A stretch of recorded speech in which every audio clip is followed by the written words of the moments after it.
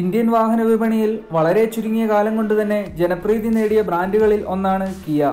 നിർമ്മാതാക്കൾ ആദ്യം അവതരിപ്പിച്ച സെൽറ്റോസും അതിനു പിന്നാലെ എത്തിയ സോനറ്റും മികച്ച വിൽപ്പനയാണ് രാജ്യത്ത് നേടിയെടുത്തത്. ഇവയ്ക്കെല്ലാം ശേഷം ദക്ഷിണ കൊറിയൻ ബ്രാൻഡിൽ നിന്നും രാജ്യത്തെത്തിയ നാലാമത്തെ പ്രൊഡക്റ്റാണ് കാരൻസ് എം പുതിയ കാരൻസ് എം രണ്ട് മാസത്തിനുള്ളിൽ അമ്പതിനായിരം ബുക്കിംഗുകൾ എന്ന നാഴികക്കല്ല് പിന്നിട്ടതായി അറിയിച്ചിരിക്കുകയാണ് കിയ ഇപ്പോൾ.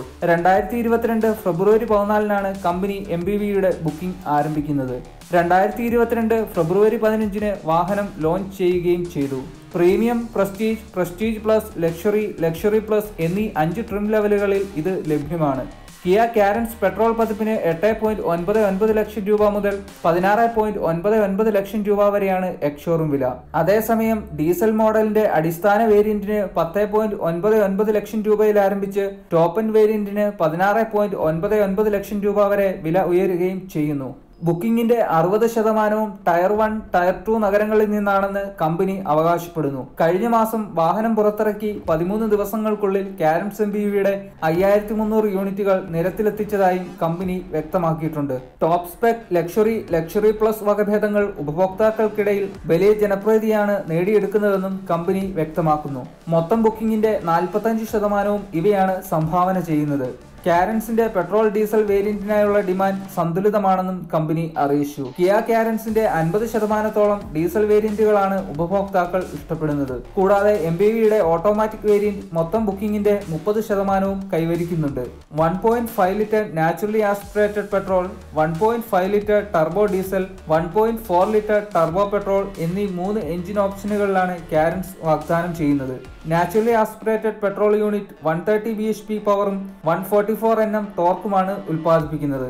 അതേസമയം turbo diesel engine one thirty B H P കരുത്തും two fifty N M torque ഉൽപ്പാദിപ്പിക്കുകയും ചെയ്യുന്നു. Turbo charge petrol engine one thirty eight B H P പവറും two forty two N M ടോർക്കുമാണ് സൃഷ്ടിക്കുന്നത്. ഗിയർ ബോക്സ് ഓപ്ഷനുകളിൽ one point five litre ഡീസലിനൊപ്പം six speed മാനുവലും six speed torque converter ഓട്ടോമാറ്റിക്കും കമ്പനി വാഗ്ദാനം ചെയ്യുന്നുണ്ട്.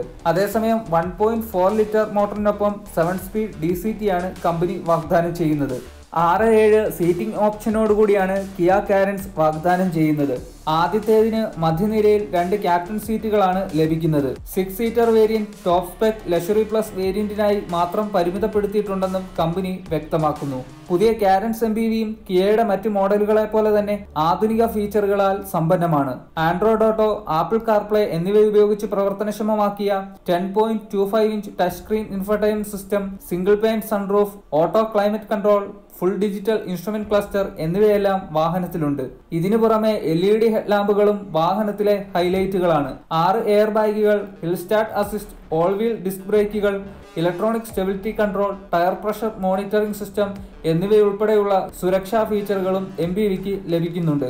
Downhill brake control vehicle stability management എന്നിവയും മറ്റ് സുരക്ഷാ ഫീച്ചറുകളിൽ കമ്പനി ഉൾപ്പെടുത്തിയിട്ടുണ്ട്. ഇന്ത്യയിൽ Maruti Suzuki Ertiga Maruti Suzuki XL six Mahindra Marazzo തുടങ്ങിയ എം ബി വി മോഡലുകളുമായാണ് കാരൻസ് മത്സരിക്കുന്നത്.